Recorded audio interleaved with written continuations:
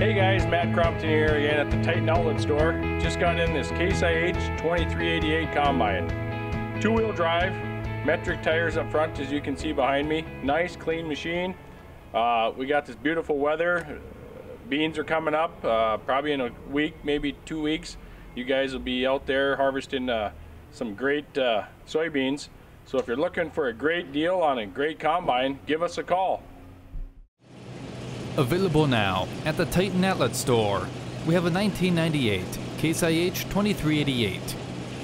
The feeder house features auto reel speed, auto header height control, and a rock trap.